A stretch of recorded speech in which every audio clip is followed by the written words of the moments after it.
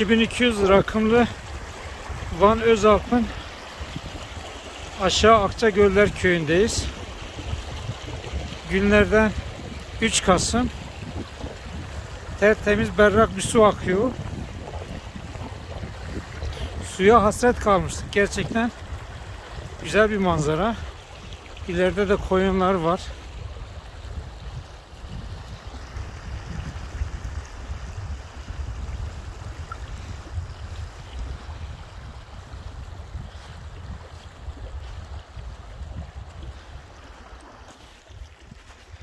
Serap Hocam nasıl buldunuz buraları?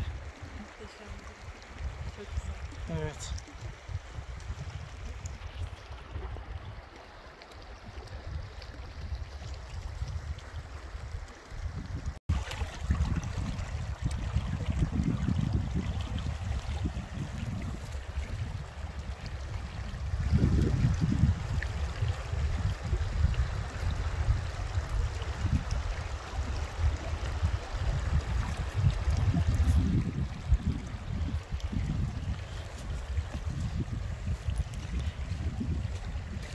Evet. Kar suyu gibi böyle berrak, tertemiz bir su. Özalp'ta böyle bir suyu görmek gerçekten şaşırtıcı. Çünkü çorak bir coğrafya. Pek su kaynağı bulamamıştık. Ama buralar gerçekten güzel.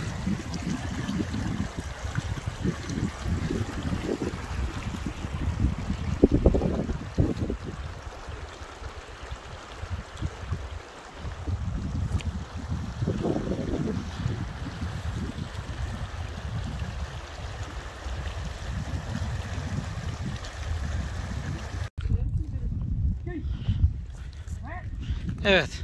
Kuzular bunlar. Maşallah ne şirin ya. Koyunların da ayrı bir güzelliği var ama ha.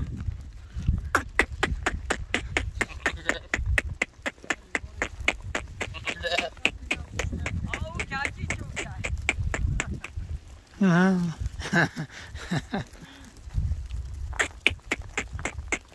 Bak ediyorlar ha.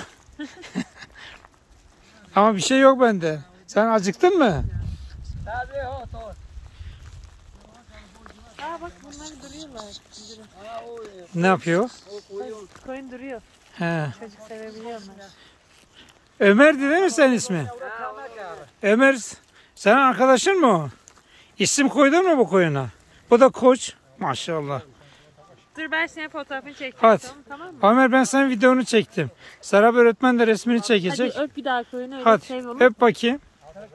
Sev onun fotoğrafını çekeyim. Sev koyunu. Böyle aldın ya. Ha öptün ya. Az önce yaptın ya. Ha öyle. dik tut. Ha aferin Ömer. Dur, Seni göremiyorum ama. Malum burada bir sürü kurt olduğu için. Kurt var mı burada? Evet evet. Ama önceden burada ağılda kalıyorlardı. Evet evet. Ha. Ömer sen koyunları kuzuları çok sevdin ya. Ha?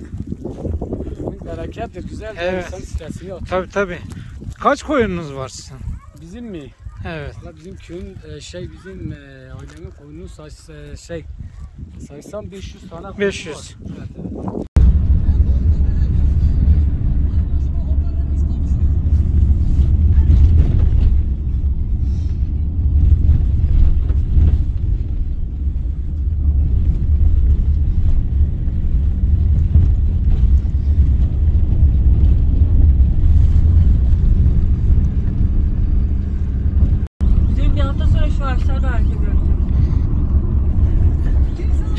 Buralar gerçekten güzel. Yazın daha hoştur. O zamanı var ya. Yazın Böyle biz, yem yaşar. yazın geçtik buradan da o zaman bizim Şey, acelemiz vardı. bu da bu kadar oluyor. Böyle içerken bağlar yerden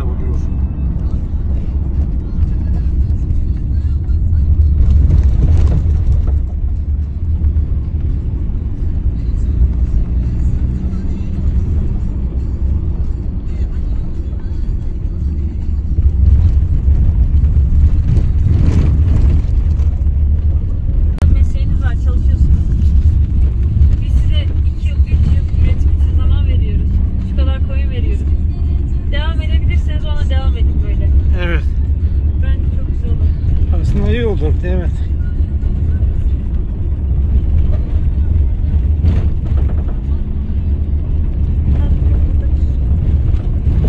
İşte devletin imkanları bu yönde seferber edilmesi lazım. Şimdi vatandaş köyde yaşıyor. Yani rahat bir yaşam sürmek ister o da. Tabii üretime dayalı bir çalışma içerisinde olmaları lazım.